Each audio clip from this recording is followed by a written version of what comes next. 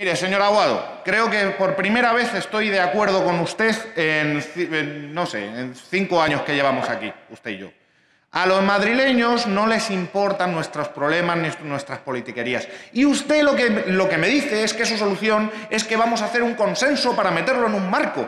¿Que eso qué es? Cada día que pasemos sin tomar una decisión son vidas perdidas, son empleos perdidos y es daño para la Comunidad de Madrid. Entonces, Atáqueme, llámeme distorsionador o no sé cómo me ha llamado, politicastro o llámeme lo que le dé la gana, pero contésteme.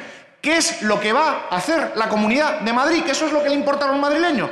Cuando acabe el estado de alarma, va a defender usted en el grupo COVID. Mantener las restricciones que hay actualmente, que yo se lo pido porque eso va a ser lo que, mejor cuide la salud de los madrileños, cambiarlas por otras, volver a las restricciones pasadas que ya reconoció su propio gobierno que eran insuficientes por las que, porque las querían pasar a 13 zonas, o ir a lo que dice la señora Díaz Ayuso, que es, en el, o, que da a entender que es levantar las restricciones aquí cada uno que haga lo que quiera porque lo primero es la economía.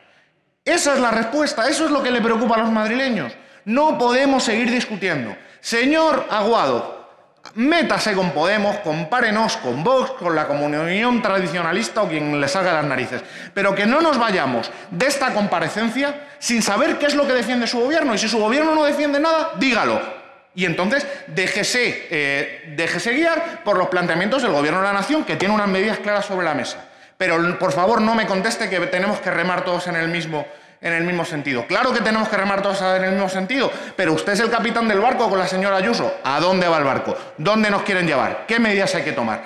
Todo lo que no sea eso, señor Aguado, será, bueno, pues eh, bonitas palabras, buenos planteamientos que no van ni a salvar una vida, ni a salvar un empleo, ni a ayudar a ningún madrileño. Entonces le pido, señor Aguado, para que los madrileños estén tranquilos, que nos conteste qué es lo que van a hacer. Muchísimas gracias.